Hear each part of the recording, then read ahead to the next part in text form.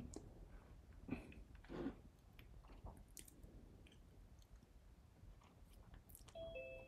meeting host, enter the host key. So my Neat board has now entered the, the WebEx meeting and it's asking for the passcode for the meeting. So to get the passcode, tap on the Neat board to bring up the menu, tap on more, manage participants, and this uh, Calliope user is the WebEx meeting.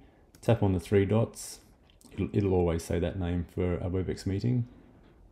Uh, tap on show keypad and then we enter this passcode here 63845 652 and you need to tap hash to finish. And we can click done. And that will bring my neat board into the WebEx meeting.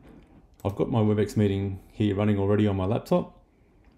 And you can see the view um, from the from my neat board looking at my uh, looking at me from the back so back over here on the Neat board, we have all your normal Zoom meeting controls. So we can mute, stop and start video.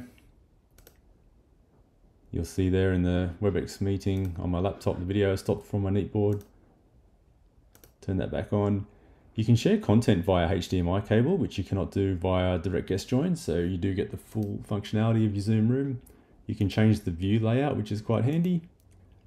So the Neat board there changes um, into thumbnail, or you can have gallery on the on the Neat board if you'd like.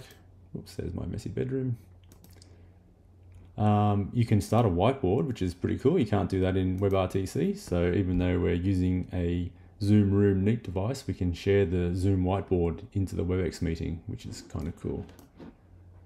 Uh, you can see that coming up there into the meeting. So we can close the whiteboard, from my Neat board. Uh, we also have camera control, which is super handy. So it's currently set to auto framing.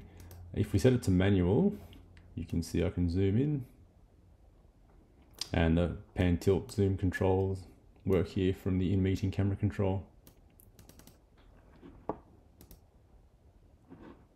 And then to leave the meeting from the Neat board, it's just the same case as clicking on there, tapping on end and tap end meeting for all.